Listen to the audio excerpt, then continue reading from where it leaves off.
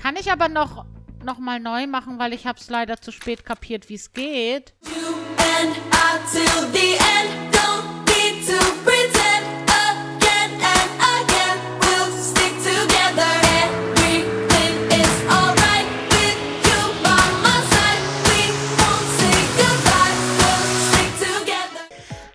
Ihr großen und kleinen Träumer da draußen. Mein Name ist Damakash und ich heiße dich herzlich willkommen zu Germany's Next Top Model. Und ich starte mit dir rein in den nächsten Tag, wo es zum ersten Fotoshooting geht. Herzlich willkommen im Fotoatelier. In diesem Atelier lernst du 10 Fotos. Zehn Fotos zu machen, die benotet werden. Du befindest dich im Moment im Bildschirm Einstellungen. Hier kannst du das Dekor deiner Szene wählen, dein Model posieren lassen oder Einstellung. An der Fotokamera vornehmen, Links von deinem Bildschirm kannst du die Art der Posen wählen. die dein Model einnehmen soll. Angelo, was ist los mit dir? Hast du Sprachprobleme heute? In dieser Liste kannst du das Setting wählen. Ma attenzione! Deine Wahl muss dem Thema des Monats entsprechen. Entsprechend, sonst verlierst du Punkte. Rechts vom Bildschirm kannst du deine Kamera justieren. Du kannst einen Farbfilter anwenden und den Bildeinstellungsmodus verändern. Querformat oder Porträt.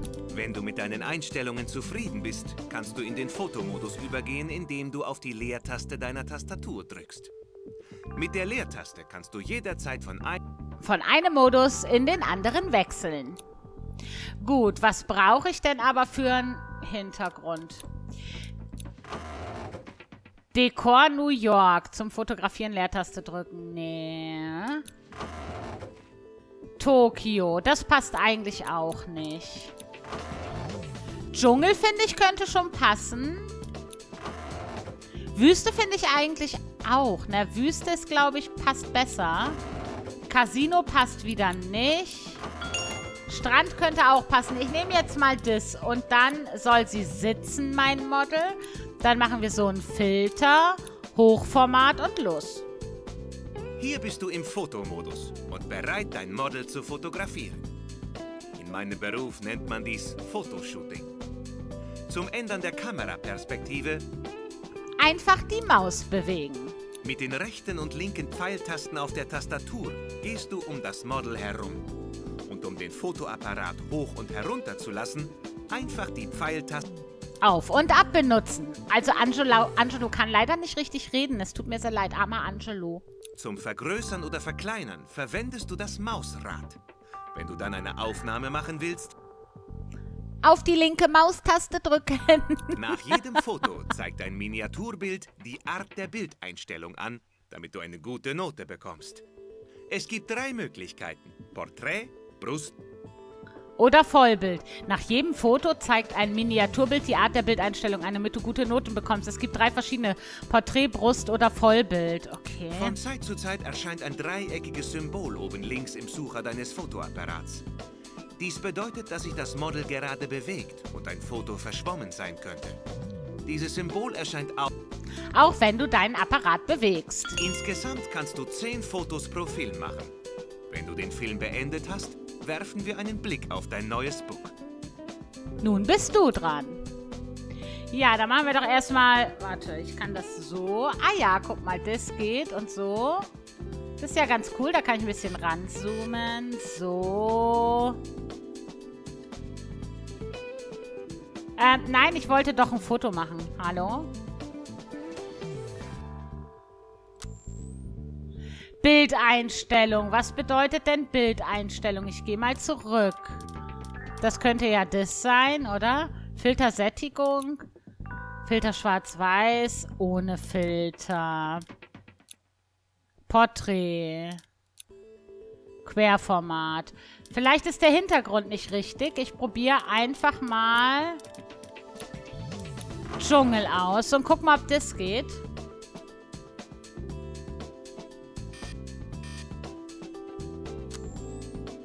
Da ist auch die Bildeinstellung nicht richtig. Warum? Jetzt ist sie richtig. Ah, guck mal, einen Stern habe ich bekommen. Warum ist da die Bildeinstellung nicht richtig? Verstehe ich nicht. Was mache ich denn falsch? Hä? Was ist denn daran falsch? Falsch. Ich nehme mal, warte mal, eine andere Pose. So. So müsste es doch... Passt auch nicht. Hä, aber was mache ich? Ich weiß gar nicht, was ich falsch mache.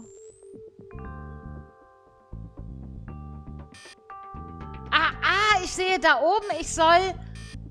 Ah, so. Und dann ist es richtig. Ach so, und jetzt halt so ein Oberkörperbildding. Ah, jetzt habe ich verstanden. Ach Gott, na manchmal bin ich aber auch echt... Du hast alle gewünschten Fotos gemacht. Sehen wir uns nun dein Book an. Na, das war nicht so toll. Gut, du hast den Film beendet und befindest dich nun im Book.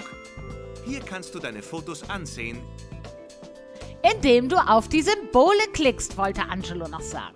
Du kannst aber auch dein Foto auf dem Arbeitsplatz deines Computers speichern, indem du auf die Schaltfläche Speichern klickst. Anschließend kannst du es dann an deine Freunde. Dinnen schicken oder ausdrucken. Wenn du dein Book angesehen hast, auf die Schaltfläche Bestätigen klicken und du Kommst zum Ergebnis. okay, zeig mal. Das finde ich eigentlich ganz gut. Das kann ich wegwerfen. Ja. Das finde ich ganz gut. Das ist auch ganz schön, ne? Das ist auch eigentlich gut. Oh, das hier ist leider oben ein bisschen abgeschnitten. Hm. Ja. Kann ich aber noch, noch mal neu machen, weil ich habe es leider zu spät kapiert, wie es geht. Das ist blöd.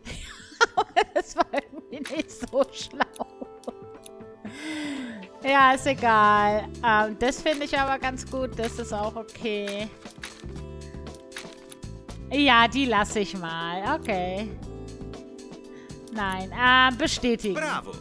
Du hast gerade deine erste Fotosession beendet. Na, hurra! Wir- Wir sehen uns nun dein Ergebnis an. Na, das kann natürlich nicht so toll sein, das Ergebnis, weil ich war schlecht. Hier ist deine Note für diese Session. Sie dient auch zur Erstellung deines Durchschnitts im Fach Foto. Wie in allen anderen Ateliers hast du auch hier Tokens erhalten, mit denen Mit denen du neue Gegenstände kaufen kannst. Alles klar?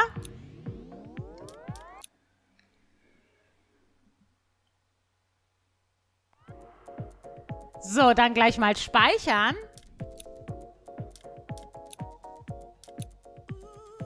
So. Und dann könnte ich, oh Gott, den Fotografieren. Ich war nicht so gut, leider. Oh je, ich habe das nicht verstanden. Ich bin so ein Hohlkopf. Aber ich kann ja hier mal fotografieren reinmachen. Jetzt habe ich es ja verstanden. Dann hier nochmal Design.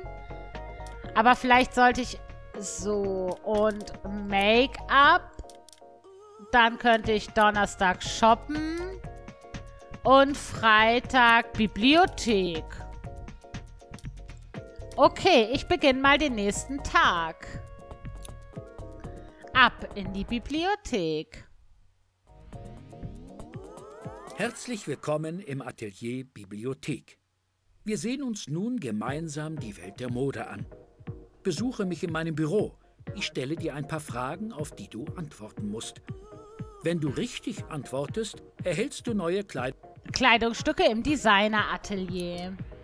Heute könnt ihr die Sperre für die Kleider im Designeratelier aufheben. Langärmliches T-Shirt mit tunesischem Kragen. tunesischem. Ähm, so. Guten Tag. Was muss ich machen?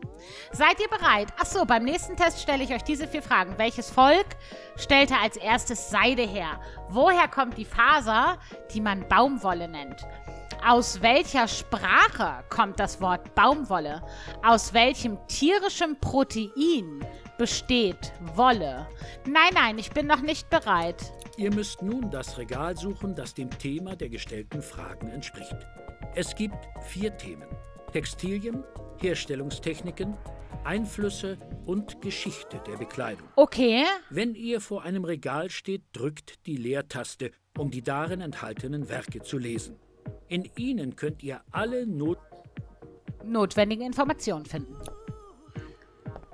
Ähm.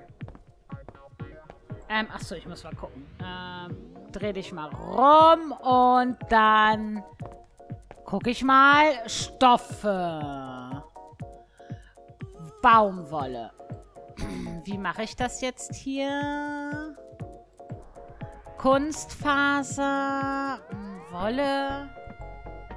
Kann ich das mit den Tasten? Nein. Ich kann leider Baumwolle gar nicht aussuchen. Ach so, wenn du auf Clint... ach.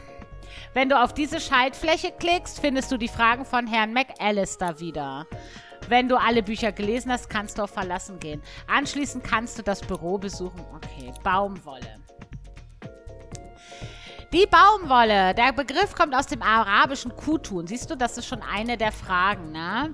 Hm, Aus welcher Sprache? Aus dem Arabischen. Also, einem Strauch aus der Familie der Malvengewächse in den Tropen. Nach seiner Blüte entstehen Samen, die dann die seidige Faser, die Samenhaare herstellen. Es ist wahrscheinlich, dass die Ägypter sie bereits zwölf Jahrhunderte vor unserem Zeitalter benutzt haben. Die ersten Aufzeichnungen ordnen sie Indien zu, und zwar um das dritte Jahrhundert vor unserer Zeit. Ich glaube, das war auch. Welches, ach nee, welches stellte als erstes Seide her? Baumwolle wissen wir, dass es aus dem ähm, arabischen Kutun oder so, ne? Woher kommt die Faser, die man Baumwolle nennt? Baumwolle wollte, äh, wollte sich, wurde schon immer mit anderen Fasern sich mischen. Guingarn zum Beispiel. Ein Karostoff aus Indien. Es ist ein üblicher und preiswerter Stoff. Und dann gibt es hier noch ganz viel zu lesen. Aber ich glaube, hier bei den Stoffen mache ich dann in der nächsten Folge weiter. Ich danke dir jetzt an dieser Stelle sehr fürs Zuschauen und sag bis nächstes Mal. Ciao, ciao. Deine Damakash.